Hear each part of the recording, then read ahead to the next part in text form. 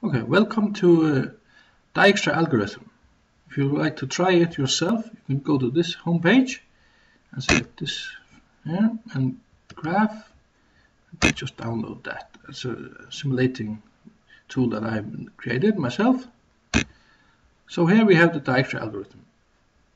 You see the graph, a default graph here. And we want to find the shortest path from A to H. Okay, so just try and stop it here. First one step there and stop. Okay, so now if you look at uh, so before the argument can start, uh, the start vertex is added to priority queue. So the first vertex A, which is the start vertex, is put into the priority queue here. And it has the weight from um, zero and comes from nowhere. It's the same, we come from. Okay, uh, the algorithm is now ready to start and will uh, run until there is no vertex left in the priority queue or if the active vertex is the destination.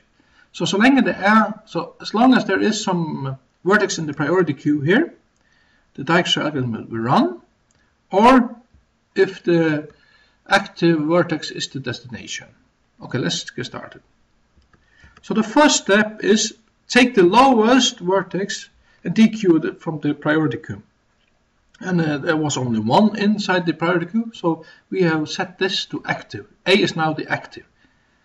And the next step is set it to visited. Now a is set to visited which means that it will never appear into the priority queue again. And it also means that when you set a vertex to visited this means that this is the shortest path from the from a to a so from A to A, it's 0. That's the shortest. Check if the destination, where is the destination? Check whether the A is H, and it's not, so we're not going to stop. Next step, take all the children and put it into the priority queue. So we have B, E, and D, which we're not going to put into the priority. First, we have B here, then we get D, and E. It doesn't matter the, how we are putting it, just to put them in. Uh, the order is not important. And you can see that uh, from A to D it uh, is a weight from uh, 5 because 0 plus 5 is 5. 0 plus 4 is 4 and 0 plus 2 is 2. Okay, now these were the first four steps so uh, now we're going to run these steps again. And the first step is take the lowest vertex and dequeue from the priority. So the lowest is B and we are not going to take B and make it the active vertex. There it goes. B is now taken out of the priority queue and put into the active vertex.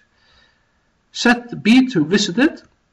It's going to become red here. Now that means that the fastest or shortest path from A to B is 2. Check whether it's the next destination, it's not the destination. Then take all the children from B, put them into the priority queue. Now we have a strange, here we, uh, we see that B has a weight of 2 plus 1 to E, which is less than that one that already inside the priority queue. Okay, and if I can come up with a shorter path, I just override uh, the vertex already inside the priority queue. So it, uh, we're going to override E with the weight of 3 coming from B. There it goes. You see, now it's 3 coming from B. You also see it here priority queue. And that's it. Now, we're going to do all every four steps again. Take the lowest out, which is E, set it to visited,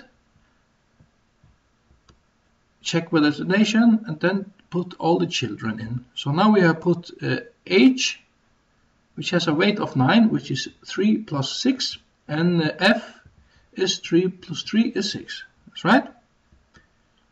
Take D out, because it was the shortest.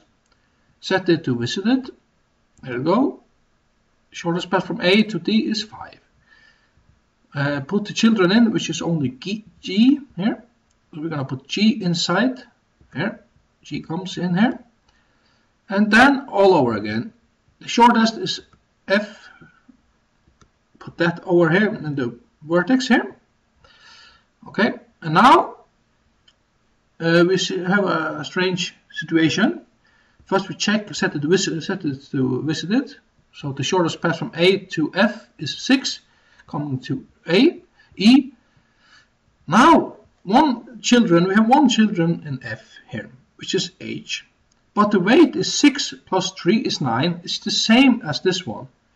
Okay, and we also have C here. Let's take that first. There, the C is coming in.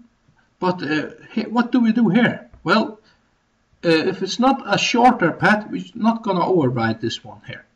Just going to stay it. So you can see it did not override vertex H because it's lower or the same weight. Okay. So uh, only if it's uh, shorter, we override it. Now, what is the shortest inside? You, it's uh, G. This has a 7 here. We're going to take that out. Okay. Set this to visited. Now it's visited. Is it the destination. No, it's not the destination. Put all the children from G, which is H, and now we have a shorter. 7 plus 1 is 8. So we're going to override this H with 8. You see? There it goes. Now it's 8 coming from G. Now find the shortest from there. It's going to be H with 8. There. Now H is coming over here. Set it to visited. We have set it to visited. Now we're going to check whether it's the destination and it is the destination.